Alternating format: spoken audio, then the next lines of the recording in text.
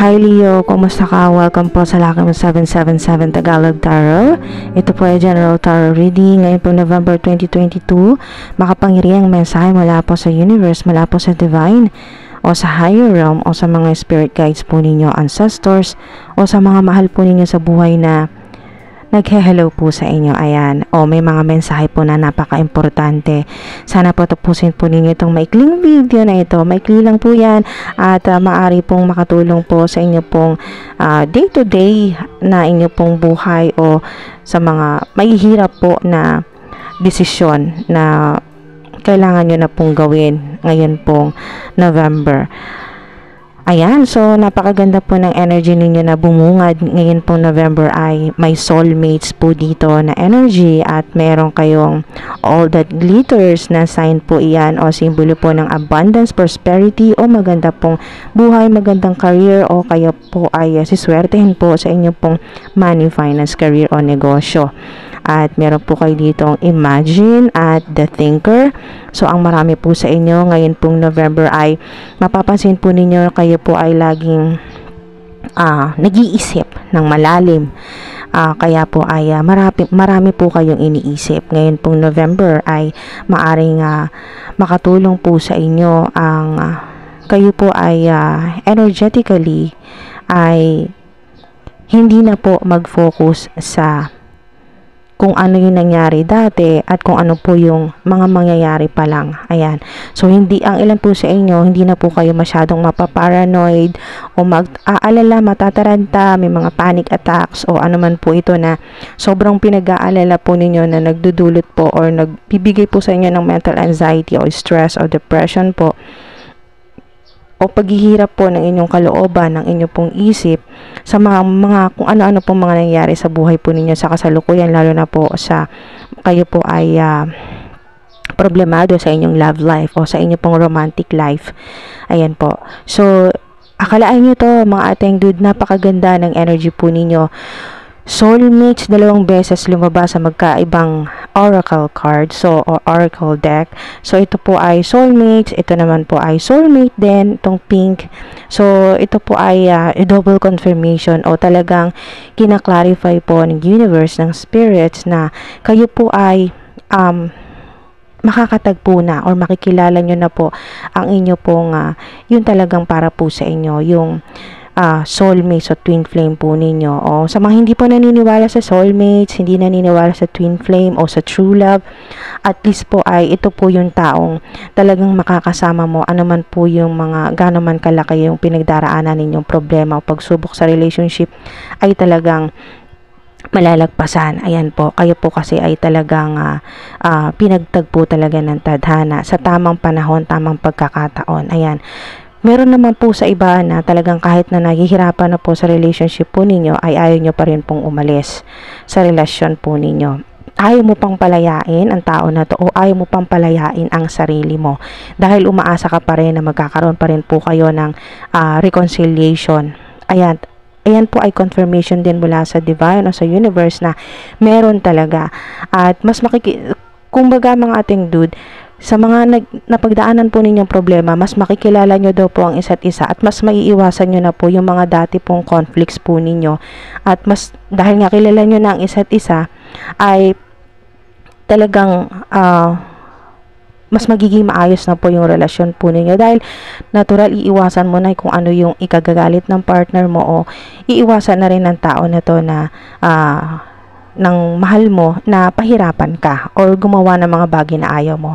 And yes, ito po ay yes card at yes mula sa universe na um, kung ano mang klaseng partnership po ito. Ang soulmates mga ating dude, uh, hindi lang po yan sa romantic relationship. Kung ang iba ay nandito ka, nanonood ka dahil nga sa um, yun talaga nakokompromiso o nahihirapan ka sa iyong uh, career o negosyo po ninyo o creative projects o kaya po ay collaboration o business partnership, magandang sign po ang soulmates. Ibig sabihin ay yung business partner mo o yung, yung kakolaborate mo ay ito po ay napakaganda, magiging success. Ayan, success. Magiging successful po. Maganda po yung partnership. Ito po ay uh, napakagandang uh, or positibo po na relationship o partnership po sa inyong um, katrabaho o sa inyong boss o sa lalo na sa mga may mga business partners. Ayan po napaganda. O kaya po ay ito po yung panahon na ngayon pong November na talagang uh, matatagpuan mo na yung talagang soul tribe mo o yung, yung mga taong makakatulong talaga sa iyo, magiging partner mo, ayan, partner mo sa hirap at ginhawa at sa success lalo na. Kasi dalawang beses lumabas ang soulmates, ibig sabihin yung magiging business partner mo ay talagang um, magiging matagumpay kayo pareho pareho kayong magbe-benefit, talagang pareho kayong makikinabang sa pinaghirapan po ninyo. Ang iba naman po ay a year from now, magiging mas maayos yung romantic relationship o yung business partnership po, yung collaboration, mas magiging matatag at mas yun nga, makikilala yung isa't isa at mas um, talagang uh, hindi na kayo maghahanap ng iba pang kapartner. May romance po kayo dito, isa pang confirmation mula sa divine, mula sa universe na ito pong soulmates ay hindi lalabas dito po sa spread po ninyo. Kung talagang uh, hindi ka uh, hindi sinasang-ayunan ng universe, ito pong taong minamahal po ninyo o kasama po ninyo sa ngayon or makikilala po ninyo. Talagang may may approval o talagang merong uh, yung bang umaayon sa iyo. Yan. Ang divine o ang ang higher realm na yes, talagang magiging masaya ka na sa iyong uh, romantic life, sa iyong love life. Ayan. So, magiging busy po ang ilan sa inyo dahil may 8 of Wands dito. Magiging uh, busy po kayo sa social media po ninyo sa or emails, maraming marireceive po na email kung ito po ay may kinalaman sa business, sa negosyo po ninyo, sa trabaho po ninyo, marami po kayong matatanggap na email na mga positive po ang mga mensahe o magaganda, magaganda pong balita po yan. At 8, alam niyo naman po ang number 8 ay napakaswerte po niyan kung sa pera, sa negosyo, sa business o sa uh, kahit po sa romantic relationship o sa communication po ninyo, pakikipag-usap po ninyo sa iba't ibang uh, relationship uh, ano po yung communication po ninyo? Pwedeng sa pera po yan negosyo sa career po ninyo o sa love life. May mga kaibigan na uh, mas madalas o mas marami ka nang matatanggap ng mga um, magagandang mensahe ngayon pong November. At sa iba naman po ay love messages po talaga ito na uulanin ka ng mga love messages. Ngayon po mas magiging busy po kayo lalo na sa mga LDR po yan na kayo po ay talagang uh, hindi man nagkakasama ng physical o ng personal o face to face ay masaya naman po kayo sa inyo pong uh, ah, LDR o sa inyong relationship. Lalo na po kung kayo po ay ganito, na sobrang stress po kayo, nine of swords, sobrang uh, marami kang iniisip, at hindi ka nakakatulog ng maayos o puyat ka palagi dahil nga sa pag-aalala dahil nga hindi mo nakikita talaga ng personal ang iyong kapartner uh, kung ito ay romantically uh, kung sa romance po ninyo o love life. Na-stress ka kasi hindi mo alam kung anong ginagawa na ka-partner mo. Hindi lang masagot yung video call mo ay napaparanoid ka na kung ano-ano na yung iniisip mo na baka may meron ng ginagawang uh, kababalaghan o meron ng ginagawang um, cheating o flirting. Na sa totoo naman ay wala talaga sa ilan. Wala talaga. Malinis yung energy na ikaw lang nagpapa-stress sa sarili mo. Pero ang ilan naman po ay uh, ito pong success at uh, six of wands ay double confirmation po ito mula sa universe at talagang magiging matagumpay po kayo. Ayan. Ito po ay uh, yung six of wands ay pinaghirapan mo talaga kasi ito po ay uh, kumbaga sa dating panahon ay yung mga sugatan Ayan, sugatan na mandirigma na masyado nahirapan, maraming laban na pagdaanan. So, kung i, i, i ibabase po natin sa present life po ninyo sa ngayon ay ito po yung kapalit ng mga pinaghi, pinaghirapan daw po ninyo. Ayan. Fruit. Hindi, hindi lang isa, fruits. Kasi marami po kayo. Kasi 10 po ito. Eh. Abundance po yan. Infinite abundance. Kita nyo itong rainbow. 10 of cups. 10 of cups ay uh, automatic po yan na abundance po yan at uh, emotional fulfillment. Nandiyan na yung saya, nandiyan na yung masaganang buhay, laging marami, laging marami o sobra, sobra-sobra sa uh, biyaya. Ayan, sa ayuda, uh, sa mga blessing. Lalo na sa pera kasi po reverse po dito yung page of pentacles ng iba hirap na hirap po sa pera hirap na hirap sa trabaho. Ten of wands ay marami pong problema sa relationship laging lagi pong may chaos o conflicts po sa relationship lalo na sa mga uh, komunikasyon po ninyo sa pag-uusap laging hindi nagkakaintindihan problema dahil napakarami pong responsibilidad ang dami nyong kailangan gawin ang dami nyong kailangan uh, gastusan o tulungan o kaya po ay kayo po ay breadwinner, kayo po yung inaasahan. So, napakahirap po niya na halos ikaw tipid na tipid ka sa sarili mo para lang mas sustain o maibigay mo yung kailangan ng buong pamilya. O lalo na kung ikaw yung inaasahan talaga dito. Yung 10-10 o yung 11-11, angel number 111 or 11-11, uh, ito rin po yan, 10-10. Makita po ninyo puro 10. Ito po ay uh, universe um, code number o yung angel number o yung um, magical code ng universe. Ito pong 1010 or 11, 11, 111 ay talagang nagsasabi po sa inyo na uh, ang mga anghel o ang universe na ginagabayan at pinoprotektahan ka sa lahat-lahat ng mga ginagawa mo, sa lahat ng mga desisyon mo, lalo na sa nangyayari na napakahirap sa buhay mo, lalo na ang ilan po na nahihirapan po kung may mga issue po yung pamilya po ninyo, mga kapatid, magulang, kamag-anak, may problema sa kaibigan, katrabaho, sa boss po ninyo, employer po ninyo, business partner po ninyo, hindi patas, may mga hindi po balance dito, no, dahil reverse po itong uh, Six of Pentacles. Ayan, kung mapapansin po ninyo, tingnan, medyo malabo lang mga ating dude, tingnan nyo ito. Ayan, may timbangan siyang hawak. Okay, so kung kayo man po ay hindi niyo po natatanggap ng tama o eksakto ang para po sa inyo, anan po ito? Um, atensyon, pagmamahal, pera, magandang sitwasyon, napakaramdam po ninyo ay hindi patas. Makita niyo puro 6 po yan, 6 of 1, 6 of Pentacles, Lalo na kung ito po ay may kinalaman sa negosyo po ninyo, sa career, sa trabaho po ninyo, may kinalaman sa pera, uh, may forward movement na po dyan. Yan, movement talaga yan kasi may kabayo po dito, no? So, may travel, makakabili ng uh, kahit anong klaseng vehicle na plano po ninyo talagang gusto nyo nang mabili, makakatulong din po kayo sa mga uh, mas mahirap po yung sitwasyon sa inyo. Ayan, kung marami pong mga humingi ng tulong po sa inyo. At least ngayon, mag magaan ang pakaramdam mo dahil makakatulong ka. Lalo na sa mga kayo po ay uh, humanitarian, talagang tumutulong po kayo, nag-share po kayo ng blessing po ninyo, ng pera, kaya mas lalo po magiging successful. Ayan, success, ibibigay talaga sa iyo. Paulan, nagpapaulan ang universe. Lalo na may rainbow po kayo dito. Pwede niyo pong i-pause yung, yung 10 of cups o screenshot po ninyo at kayo po ay mag-meditate o mag-concentrate po na i-manifest nyo po yan na uh, kasi rainbow po yan at uh, abundance po ang uh, simbolo po ng 10 of cups at success din po ang 6 of wands. Ito po yung bunga ng pinaghirapan po ninyo.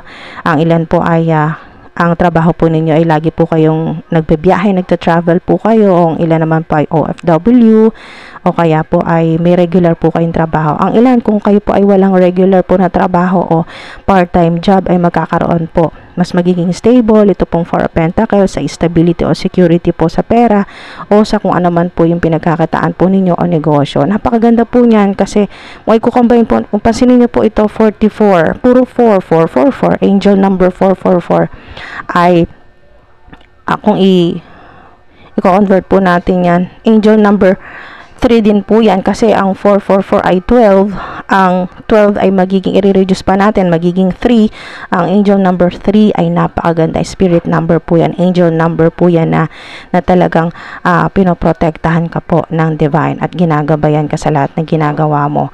Para tinan nyo to 6 6 of pentacles 4 of pentacles 10 pa rin po ito. So, i-combine po natin ito, magiging 10 of pentacles. So, puro 10 po kayo. Wow, universal code po ito.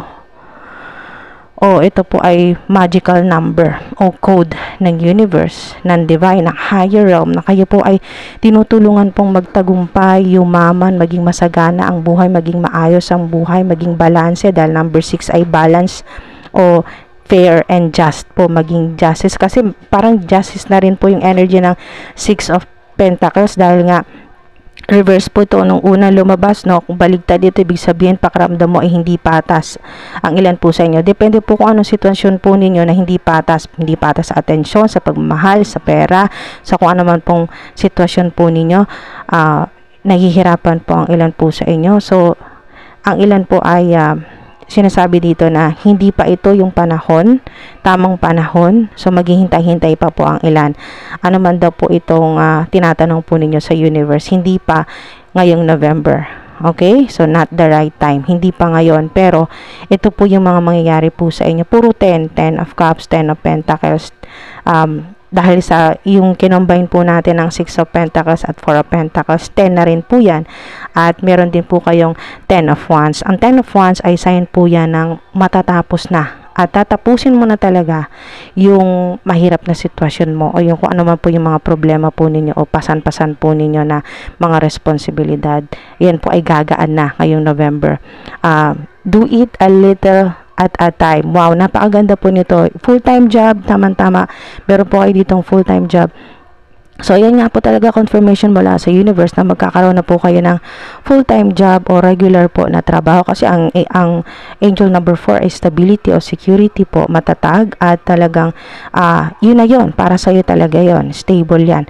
Um, kung mapapasin po ninyo, parang orasan nga po ito, no, na uh, infinite abundance. Parang cornucopia po yan kasi puro mga prutas, gulay, pagkain. Literal na masaganang buhay po yan. At uh, yung simbolo po ng clock o orasan ay uh, talagang um, sa ilan talagang panahon mo, panahon mo talaga. Panahon nung maging uh, successful, maging mayaman, maging maayos. Ayan, success.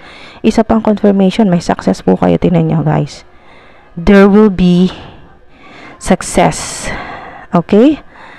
Uh, benefit din. Merong makakatanggap po ng malaking benefits o incentives. Basta magiging successful po kayo sa inyo pong ginagawa. Trabaho po ninyo, negosyo, napakaganda balita po yan o mensahe mula sa universe na talagang magiging matagumpay po kayo. Ano man po yung pinaghihirapan po ninyo, pinagukulan ninyo ng energy, lahat ng investment po ninyo, um, lahat kung nag-invest ka sa, sa romantic life o sa love life, magiging successful. Um, sa inyo pong career, sa profession po ninyo, sa trabaho, sa kalusugan po ninyo, nag-invest ka, magiging matagumpay din. Ibig sabihin ay healing. Ang cups kasi ay healing, abundance, prosperity, magandang buhay, maganda yung flow ng energy, napakaganda po yan. At uh, pagpapatawad na rin po yan, uh, forgiveness, So, napakaganda po nito, no? Uh, confirmation. Ilang beses may confirmation tayo dito sa uh, abundance and prosperity sa pera po, no? Lalo na po kung kayo po ay, ang concern nyo kung ba't kayo dito nanonood ngayon ay para po sa inyo pong malaman po ninyo may maganda bang mangyayari sa career po ninyo, sa negosyo, sa trabaho po ninyo, sa career po ninyo. Napakaganda po yun. Ilang beses na po nag-confirm ang universe, ang spirits na magiging maayos, magiging matatag ayan, na full-time job din ito. Itong 8 of Pentacles, ito po yung inyo pong uh, yung sa mga naghahanap po ng trabaho, uh, magkakaroon po ng regular talaga, full-time job talaga yan. O matatanggap, employment po. Sa mga nag apply din po abroad, yes po yan. At uh, ito naman pong uh, of Swords ay dalawang beses po yan. May Nine of Swords ka rin kanina dito. Okay, so dalawang beses. So, ang ilan po sa inyo ay pag ito po nagdoble, ibig sabihin sobrang stress po kayo. Okay? Ayan po yan, ang dami po ninyong uh, mga iniisip, problema o kaya po kayo po ay exhausted na ngayong buwan na to, November ay halos hindi makapagpahinga, hindi po makatulog ng maayos o kaya po ang inyo pong trabaho ay uh, yun talagang uh, yung graveyard pong schedule talagang ang uh, puyatan o sa gabi po talaga ang trabaho at uh, sa umaga ang bawi ng tulog sa ilan. Kaya napakahirap po magkaroon ng balanse po na uh, na energy dahil nga exhausted o hindi ayos o hindi po maganda yung quality ng tulog. So ito po ay isa pang confirmation na now is not the time hindi pa talaga ngayon. Pero mga ating dud, huwag kayong mawawala ng pag-asa kasi ang uh, ito pong uh, ito po yung energy na magiging masaya ka, magiging uh, blooming, uh, very attractive, may glow up. Ayan, ngayong November sa ilan po sa inyo. Yung reverse po, baligtad na star ay hindi ibig sabihin na hindi na talaga.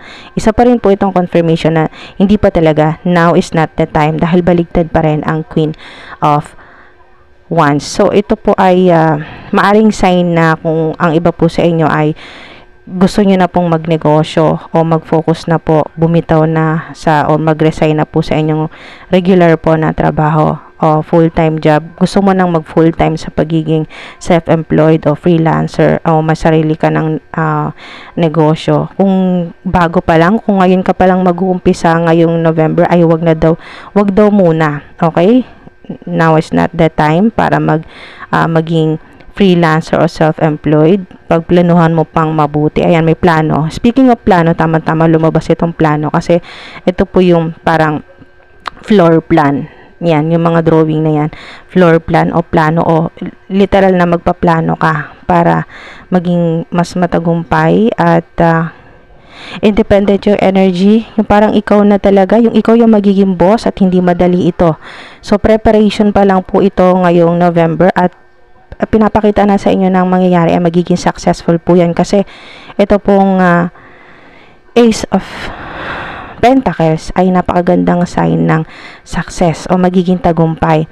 Pero pagplanuhan mo muna ngayon November pero hindi pa kasi ngayon ang uh, ang ilan po sa inyo hindi pa ngayon yung tamang panahon para maging uh, successful sa inyo pong negosyo. So ang uh, yung energy ay mas lamang po dito na kayo po ay uh, magiging matagumpay muna sa inyong full-time job o ito pong regular job po nino, ninyo, 9 to 5 job po yan.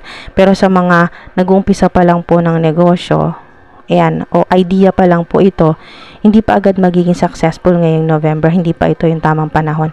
Pero wag po kayo mag-alala, no, kasi nandito po lahat, puro abundance, napakaswerte po ninyo.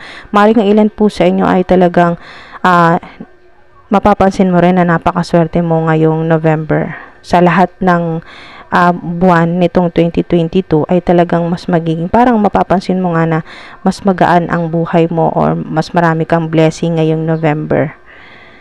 Sa ilan na may mga delays at hindi pa agad magiging napaka-successful ngayong November ay uh, maring abutin pa ng taon. Okay? So, next year po yan, a year from now. At alam niyo po, ito napakaganda ng mensahe ng Ace of Pentacles. Ito ay sign ng yes, magiging successful ano man po yung ginagawa mo or uumpisahan mo ngayong November, napaka-positive po ng sign na magiging matagumpay. Malaki ang potential na kayo po ay maging stable po yung inyo pong ginagawa, yung creative projects o negosyo po ninyo. O kaya po sa ilan ay talagang uh, sign po ito na marami pong uh, mga opportunities na darating ngayong November na um, malaki po talaga yung maitutulong sa'yo. At hindi lang ikaw yung magbe-benefit dito o makikinabang kundi ito ay sa buong henerasyon na. Kumbaga ikaw yung uh, legacy mo ito. Kasi pinaghirapan mo 10 of wands. Sobrang ikaw yung nagpakahirap ikaw yung bumuo uh, kung ano man po ito. Pero ang buong pamilya mo at sa mga susunod pa na henerasyon sila talaga yung makikinabang dyan at magiging masaya ka. Magkakaroon talaga ng kabuluhan yung mga lahat-lahat ng pinaghirapan mo. Uh, hindi masasayang.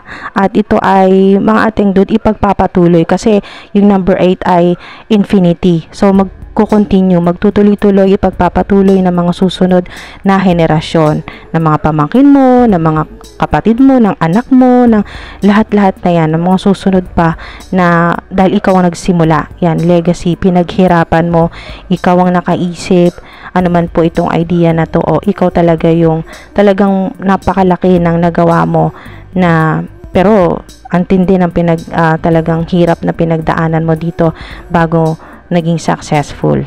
Wow!